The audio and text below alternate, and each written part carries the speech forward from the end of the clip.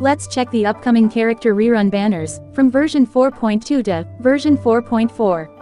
In version 4.2 we are going to get Baizhu rerun banner on 4.2 phase 1, and Kamisato Ayato and Cyno rerun banners on 4.2 phase 2. Then in version 4.3 we are going to get Arataki Itto rerun on 4.3 phase 1, and Albedo and Raiden Shogun rerun banners on 4.3 phase 2. We can't make sure about the character phases releasing details of version 4.4. But we have the info of which are the characters that are going to get rerun banners on version 4.4. In version 4.4 we are going to get Ganyu, Xiao, and Shenhe rerun banners, with the Lantern Rite Festival return in 4.4.